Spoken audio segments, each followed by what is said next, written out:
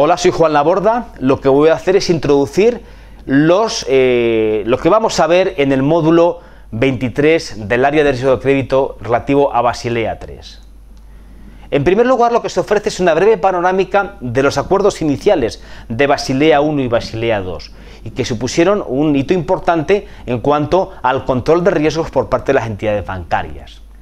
Sin embargo, Basilea 2 demostró que, eh, especialmente en las áreas relativas a riesgo de crédito y de mercado, fallaron, no era suficiente. Algunos de los supuestos que había detrás de esos cálculos, eh, pues eh, no se cumplen esas hipótesis. Y cuando acontecen eventos extremos, se generan problemas, como fue la crisis del 2008. ¿Vale? Lo que, la reacción que hubo desde un punto de vista regulatorio a esta crisis fue Basilea 3. Y a partir de aquí se introducen o analizaremos las medidas de Basilea 3 en relación o en materia de capital, que es lo más importante. De manera que si vienen mal dadas por el entorno económico eh, global o por una crisis eh, sistémica, pues eh, existe capital suficiente en las entidades bancarias para hacer frente a los mismos. ¿Qué implica Basilea 3? Básicamente mejora de la calidad y aumento de la cantidad de capital.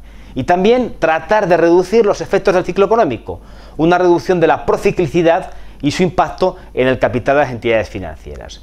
También implica una mejora en la cobertura del riesgo y sobre todo se introduce un tema muy importante, el ratio de apalancamiento. Una entidad bancaria cuando está más apalancada ante eh, crisis sistémicas va a tener serios problemas. La idea es juntar todo, apalancamiento, prociclicidad y eh, mejorar la calidad y aumento de la cantidad de capital en la entidad bancaria. Esto es lo que hace Basilea 3. Dentro del módulo se detalla además el enfoque cuantitativo de la liquidez.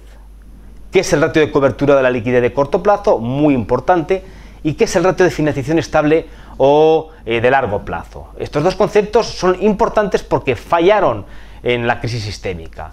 Aquí eh, se ofrece cómo calcularlos, cómo cuantificarlos de manera relativamente sencilla en función de eh, Basilea 3. A continuación se plantean una revisión crítica de Basilea 3, especialmente desde tres puntos de vista. ¿Favorecen los requerimientos de capital la asunción de un menor riesgo por parte de las entidades financieras o no? ¿Cumplen el, colchón anticíclico para hacer frente a situaciones de, eh, de evolución cíclica de la economía el papel estabilizador de la economía y el sector bancario o no? Y cuáles son los potenciales impactos no deseados de los ratios de liquidez que hemos visto en la situación previa. Con todo esto tendremos una visión general bastante desarrollada de lo que es Basilea 3. Lo que dejamos para el siguiente módulo va a ser la cuantificación del capital económico, donde introduciremos además capital regulatorio y económico y qué modelos se utilizan para el mismo. Pero con esta breve, eh, en este módulo, con lo que hemos detallado aquí, es más que suficiente.